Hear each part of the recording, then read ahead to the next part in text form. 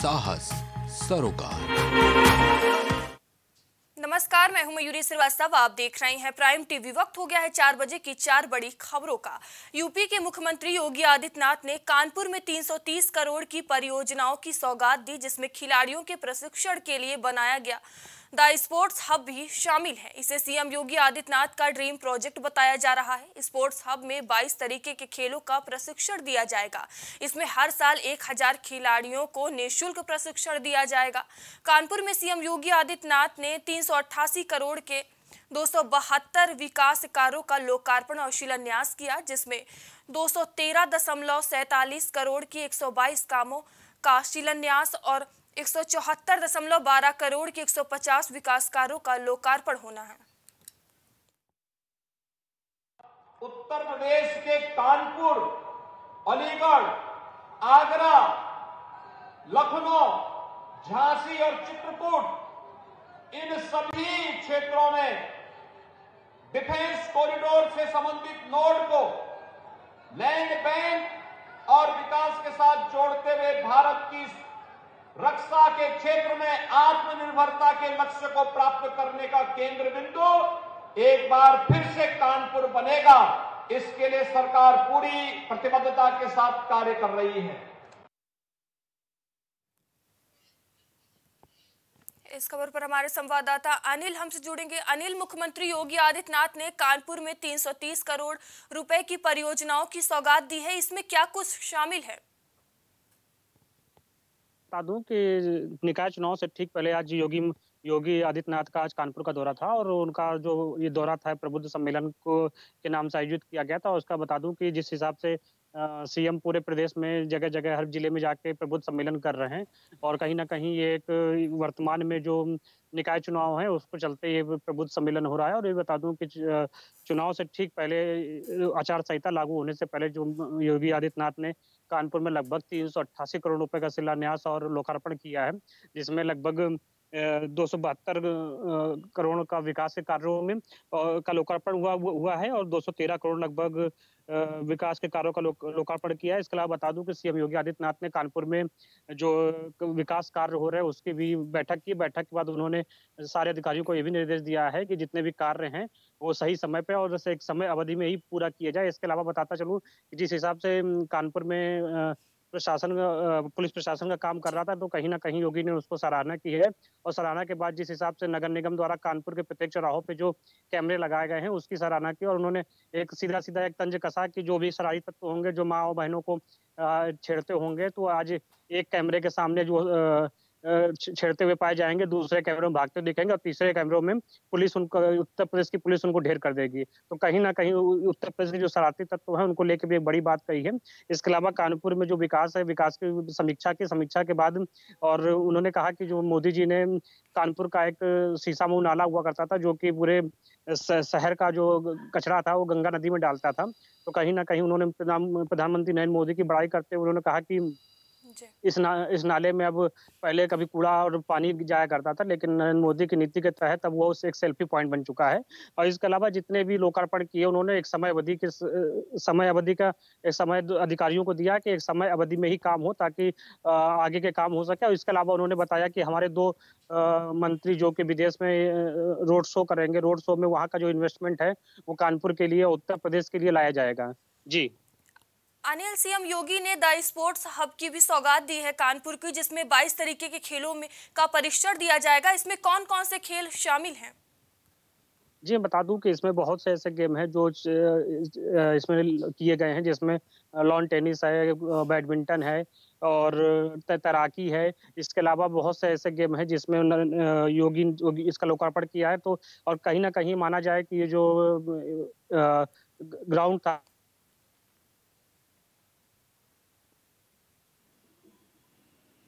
Dream project project था dream project के चलते इन्होंने मोदी जी ने मोदी जी के ड्रीम प्रोजेक्ट के चलते काम किया गया और कहीं ना कहीं जो स्पोर्ट हब था मोदी जी के उसके एक सपना था कि कानपुर में एक बड़ा हब हो लगभग प्रत्येक वर्ष एक हज़ार खिलाड़ी कानपुर से निकले, जो कि देश विदेश में नाम करें, जिसके चलते मोदी, योगी जी ने आज उसका लोकार्पण किया और कानपुर में बहुत बड़ी बात बोली कि उन्होंने जो कानपुर का एयरपोर्ट है, पिछले कई समय से पड़ा हुआ था, जिसके कानपुर को एक बहुत ज़रूरत थी और ये काम पूरा पेंडिंग पड़ा था, लेकिन योगी जी ने आज उसको भी, उसका भी लोकार्पण किया है उन्होंने कहा कि बहुत जल्द कानपुर वासियों को कानपुर एयरपोर्ट की भी सुविधा मिलेंगी। जी। अनिल, जो ये स्पोर्ट्स हब है, इसमें हर साल एक हज़ार खिलाड़ियों को निशुल्क प्रशिक्षण दिया जाएगा। तो जो अन्य खिलाड़ी होंगे, उनके लिए क्या निशुल्क होगा? क्या कुछ प्रोसेस होगा? जी, मैं बता दूँ कि जो स्पोर्ट हब बनाया गया है, इस स्पोर्ट हब में जितने भी प्लेयर्स हैं, जो गरीब तबके के लोग हैं, उनके लिए फ्री रखा गया है। बाकी अलग अलग तबके के हिसाब से अलग अलग फ़ीस रखी गई, लेकिन जो भी निचले तबके के लोग, जो लोग जिन बच्चों को खेल का काफ़ी शौक है और वो आगे खेल में अपना भविष्य देख रहे हैं, उसके उसको लेके मोदी योगी जी ने कानपुर में बैठक की थी और कहीं ना कहीं मोदी जी का भी एक बड़ा सपना था इन सब चीज़ों के लिए, क्योंकि कहीं ना कहीं मोदी जी की भी रुचि एक स्पोर्ट में और लोगों के उत्तर उत्तर प्रदेश और भारत के बच्चे अगर स्पोर्ट में जाएँगे और इंटरनेशनल लेवल पे नाम नाम करेंगे तो कहीं ना कहीं कानपुर के लिए की बड़ी बात होगी, जिसके चलते कहीं ना कहीं योगी जी का एक ड्रीम प्रोजेक्ट था। इस ड्रीम प्रोजेक्ट में जो फ़ीस है जो छोटे, तब, नीचे तबके के लोग हैं, जो पैसे देने में उतने सक्षम नहीं होते हैं। उनके लिए फ्री ऑफ़ कॉस्ट किया गया है और पूरे को, कोचेस प्रोवाइड कराए जा रहे हैं और लगभग एक हज़ार प्रतिवर्ष बच्चों के निकलने की इसमें संभावना है जिसमें स्पोर्ट में स्पोर्ट में लॉन टेनिस है बैडमिंटन है और तैराकी है। तैराकी के अलावा वॉलीबॉल है और इसके अलावा बहुत से ऐसे नेशनल इंटरनेशनल लेवल के गेम है जिसमें इसमें प्रशिक्षण मिलेगा। जी धन्यवाद अनिल तमाम जानकारियों के लिए।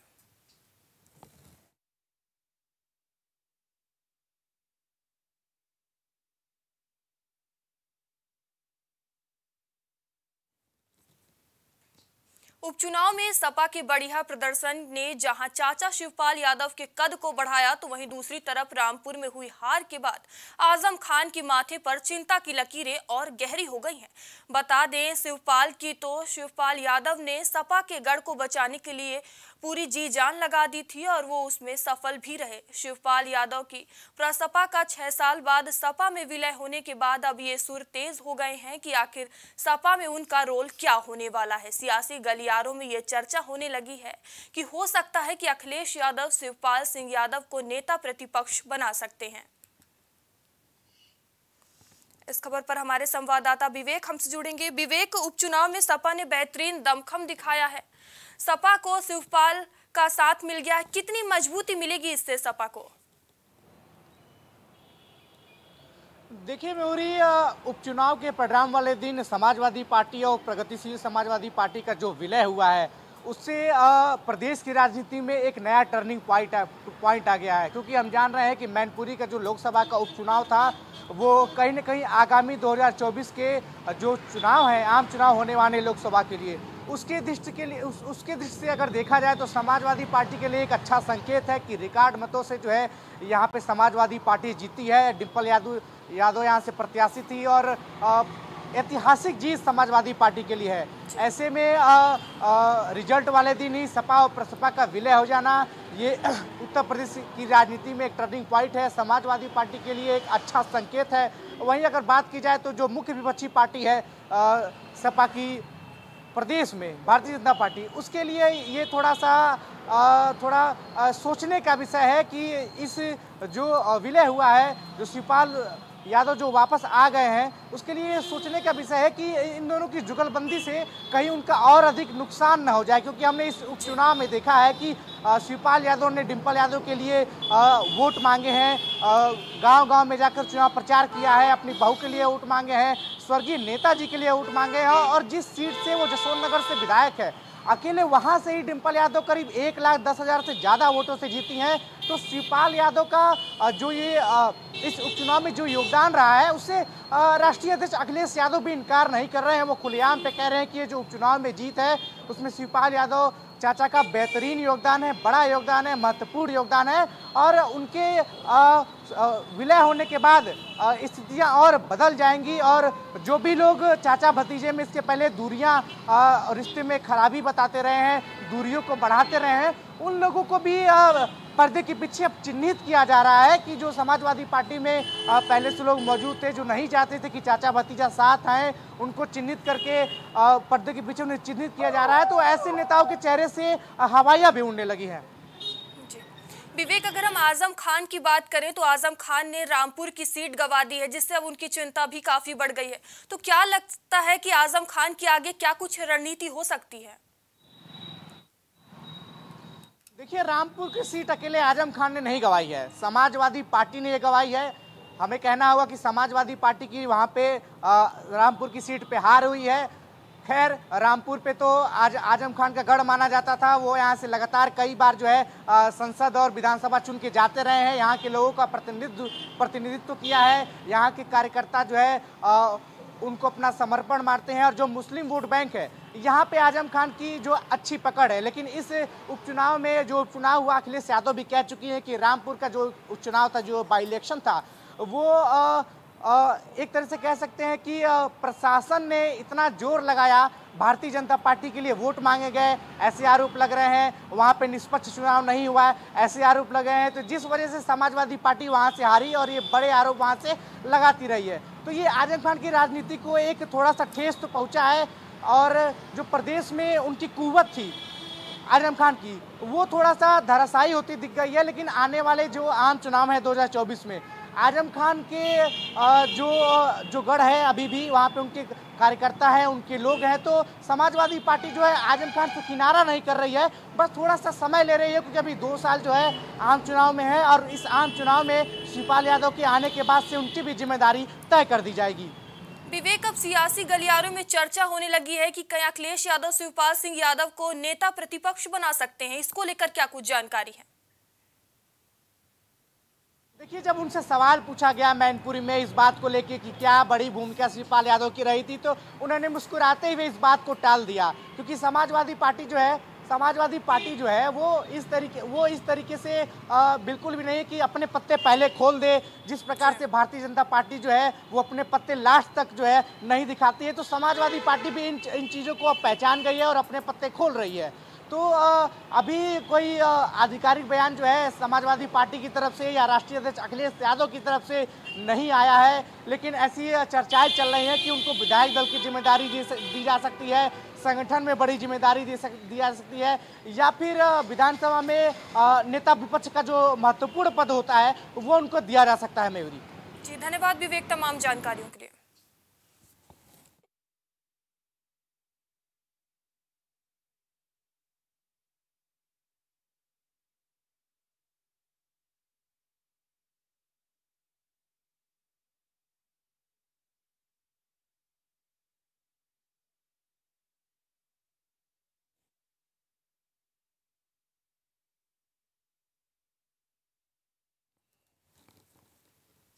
उत्तर प्रदेश की तीन सीटों पर हुए उपचुनाव के नतीजे आ चुके हैं। मैनपुरी और खतौली उपचुनाव में समाजवादी पार्टी गठबंधन ने जीत दर्ज की है। वहीं रामपुर में बीजेपी ने जीत दर्ज की है। खतौली में सपा गठबंधन से आरएलडी के प्रत्याशी मदन भैया ने चुनाव में जीत दर्ज की है। जीतने के बाद उन्होंने चंद्रशेखर आज़ाद से मुलाकात की है। मदन भैया ने जीत पर कहा, खतौली की जनता का धन्यवाद है और यह गठबंधन की जीत है, जिसमें विशेष तौर से भाई चंद्रशेखर की आज़ाद समाज पार्टी का बहुत महत्वपूर्ण योगदान है और 2024 के लिए एक नींव पड़ चुकी है, जो आगे सफल साबित होगी। इस बयान के आधार पर अब नई चर्चा शुरू हो गई है।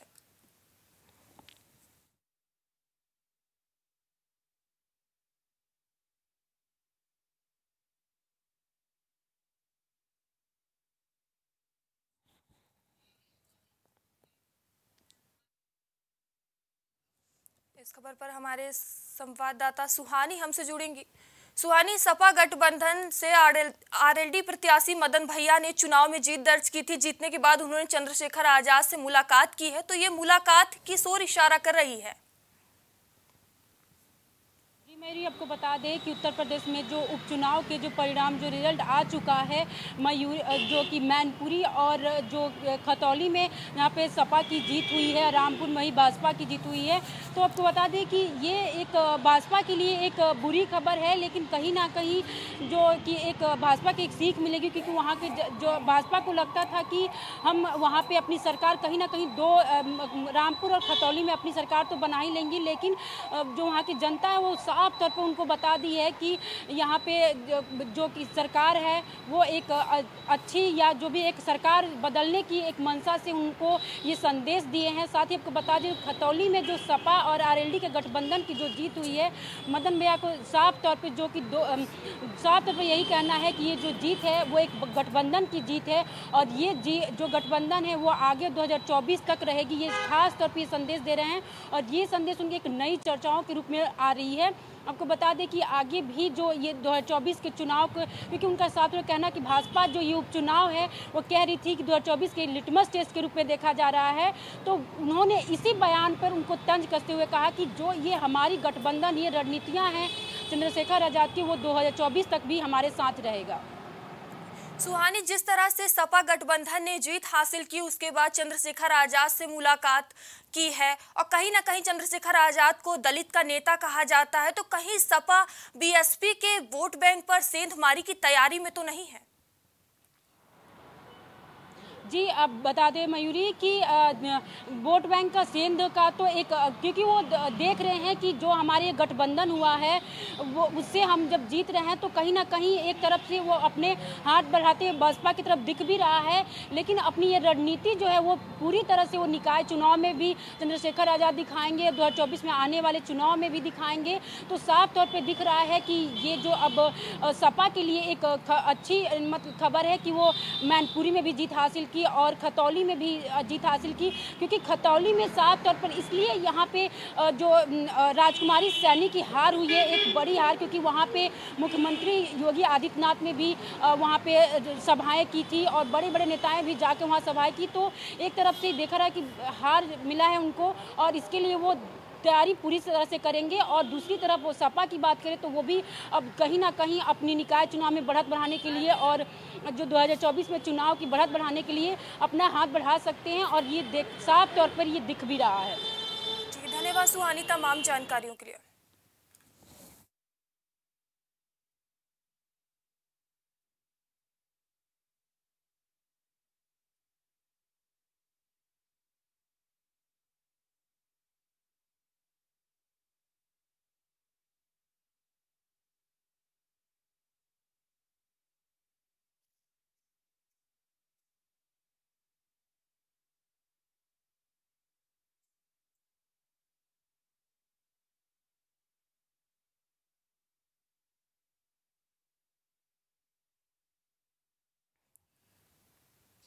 फरुखाबाद में करनी सेना ने सपा नेता और पूर्व उपाध्यक्ष देवेंद्र सिंह उर्फ़ जग्गू यादव के खिलाफ मोर्चा खोल दिया है। करनी सेना ने आरोप लगाया है कि सपा नेता ने करनी सेना के कार्यकर्ता के भाई को घर बुलाकर पीटा है और छत्री समाज को संबोधित कर अपमानजनक बातें कही हैं। करनी सेना के जिलाध्यक्ष मंथन ठाकुर पदाधिकारियों के साथ कोतवाली पहुँचे और सपा नेता की शिकायत की। उन्होंने कहा कि मुकदमा दर्ज नहीं हुआ तो करनी सेना कोतवाली के बाहर प्रदर्शन करेगी। ये है कि विगत पाँच दिसंबर को ये घटना हुई कि राहुल परमार, जो कि करणी सेना कार्यकर्ता, उनके छोटे भाई के संग जग्गू यादव, जो कि सपा के पूर्व जिलाध्यक्ष हैं, और उनकी जो मामले पुराने भी पूर्व में बड़े आपराधिक रह चुके हैं, उनने जो करणी सेना कार्यकर्ता राहुल परमार जी उनके भाई को बंधक बना दिया और मारा पीटी की, और उसके बाद मारा पीटी का गाली गलौज बहुत की, और क्षत्रिय समाज के लिए भी, और क्षत्रिय समाज के कुछ जो प्रतिनिधि हैं सलाहकार हैं उनके लिए भी बहुत गाली गलौज की अबद्ध भाषा प्रयोग किया जिसकी वीडियो वायरल हो रही थी। आज जबकि पता लगा तो हम लोग ने थाना कोतवाली में तहरीर भी दी है इसके लिए जिसमें राहुल परमार जी ये हैं इनके छोटे भाई का मामला है और उसमें श्री राष्ट्रीय राजपूत करणी सेना ने तहरीर दी है कि अगर एफआईआर नहीं होती है पहली बात तो वो वहाँ पे आश्वासन दिया गया कि एफआईआर करेंगे अगर नहीं होती है तो फिर यहाँ करणी सेना धंधा करने पे बाध्य होगी। पर हमारे संवाददाता गौरव श्रीवास्तव हमसे जुड़ेंगे। गौरव, सपा नेता देवेंद्र सिंह के ऊपर गंभीर आरोप लगे हैं। करनी सेना ने आरोप लगाया है कि सपा नेता ने करनी सेना के कार्यकर्ताओं के भाई को घर पर बुलाकर मारपीट की है। क्या कुछ पूरा मामला है? वहाँ पर कोई बात हुई होगी, उसके बाद के चलते उनको बुलाया था, उसके बाद वहाँ पर मारपीट हुई है। और जिस तरह से वीडियो वायरल हुआ है कि वहाँ पर अभ्र भाषा का उपयोग कर रहे हैं सती समाज को लगातार वो गाली दे रहे थे। तो कहीं ना कहीं वीडियो यहाँ पर आ गया है और आवाज़ की पुष्टि भी वहाँ पर हो गई तो निश्चित रूप से यहाँ पर जो कहा गया है, वो निश्चित रूप से गलत है और इस तरह के निंदनीय कार्य नहीं करना चाहिए। अगर आपकी कोई पृष्ठभूमि रही हो या किसी तरह पर नेचर रहा हो, वहाँ पर किस लिए आपने बुलाया था, अभी तक स्पष्ट नहीं हो पाया है। फ़िलहाल यहाँ पर जिस तरह मारपीट की गई है और छत्तीस समाज को लेकर वहाँ पर गालियाँ दी गई तो कहीं ना कहीं यहाँ पर जो मामला है वो मामला यहाँ पर अपमान का बनता है अपमान के चलते यहाँ पर और माफ़ी चलते यहाँ पर मुकदमा दर्ज होना चाहिए और फ़िलहाल इसके लिए करनी सेना वहाँ पर गई है, जो वहाँ के पदाधिकारी है। मंथन ठाकुर का कहना है कि करनी सेना के जो पदाधिकारी है, रोहित परमार के छोटे राहुल परमार उनके छोटे भाई रोहित परमार के साथ वहाँ मारपीट की गई है और ये इसको बर्दाश्त योग्य नहीं है। जिस तरह से वहाँ पर अपमानजनक शब्दों का उपयोग किया गया है, गालियाँ दी गई हैं, जाति शब्दों का वहाँ पर उपयोग करके गालियाँ दी गई हैं तो ये हम बर्दाश्त नहीं करेंगे और इसके लिए हमें तहरीर वहाँ पर दे दी है और अगर वहाँ पर मुकदमा दर्ज नहीं हो तो इसके अलावा हम धरना भी देंगे। गौरव, शिकायत के बाद भी इस पूरे मामले में मुकदमा दर्ज नहीं हुआ। क्या कारण है? क्यों मुकदमा नहीं दर्ज हुआ? देखिए, तमाम चीज़ें होती है ऑडियो पॉजिटिव करनी और तमाम तक जो वीडियो वायरल हो, उसकी भी जानकारी की जाएगी।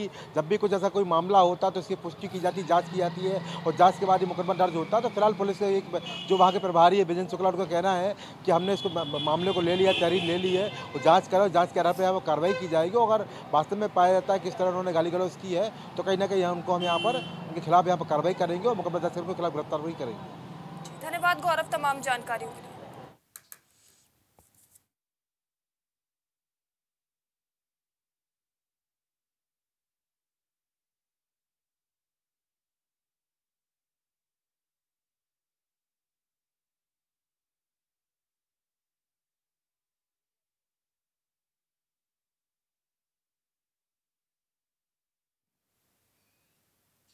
चार बजे की चार बड़ी खबरों में इतना ही। देश दुनिया की तमाम खबरों के लिए देखते रहिए प्राइम टीवी